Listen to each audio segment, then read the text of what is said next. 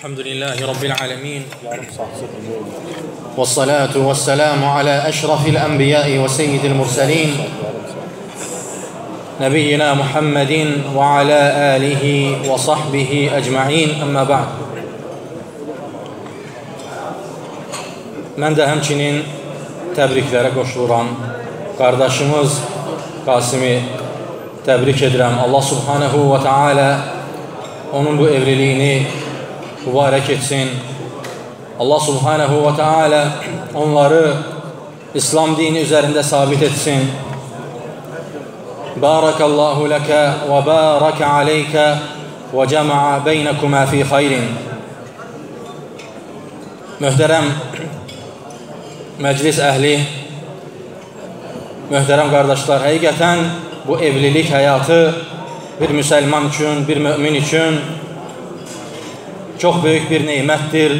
Allah subhanahu və tealənin ayətlərindəndir. Rəbbimiz buyurur ki, وَمِنْ آيَاتِهِ أَنْ خَلَقَ لَكُمْ مِنْ أَنْفُسِكُمْ أَزْوَاجًا لِتَسْكُنُوا إِلَيْهَا Öz nəfslərinizdən yaşamanız üçün zövcələr xəlq etməsi həqiqətən Allah subhanahu və tealənin ayətlərindəndir. Və bu evlilik həyatında da insanın xoşbəxt olması üçün Allah subhanahu və tealənin əmirlərini və Peyğəmbərimiz Muhammed sallallahu aleyhi və səlləmin sünnəsini gözəl şəkildə yaşamaqla insan bu dünyada və axirətdə xoşbəxt ola bilər. Və bu evlilikdə gözəl seçim etmək, həmçinin ailənin xoşbəxt olmasına təkandır. Necə ki, Rasulullah sallallahu aleyhi və səlləm buyurur ki, Mən razəqəhullahu zəvcətən salihətən fəqad ruziqə nisfə dinihi.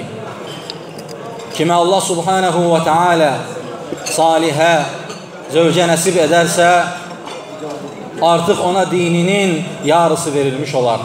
Fəliyyəttəqilləhə fi nisfil bəqi və dininin qalanına da Allah subhanahu və tealədən özü qorxsun, çalışsın və bununla da ailəsində xoşbəxtliyi tapa bilər.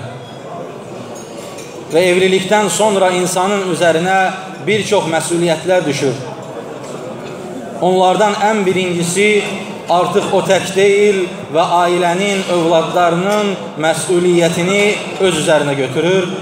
Və Rəbbimiz Rum surəsində ayət kərimədə buyurur ki, Yə əyyühəl-ləzīnə əmənu qu ənfusəkum və əhlikum nəra və quduhən-nəsu vəl-hicarə Ey iman gətirənlər, öz nəfslərinizi və ailənizi yanacağı insanlar və daşlar olan oddan qoruyun. Həqiqətən, evlilikdən sonra insanın daha da məsuliyyəti artır və bunun da ailənin, övladlarının xoşbəxt olması üçün İslam dininin gözəl şəkildə ailəsinə çatdırması hər birimizin boynunda borcdur. Bir daha qardaşımızı təbrik edirəm. Allah subhanahu və teala onun bu izdivacını xeyirli, bərəkətli etsin.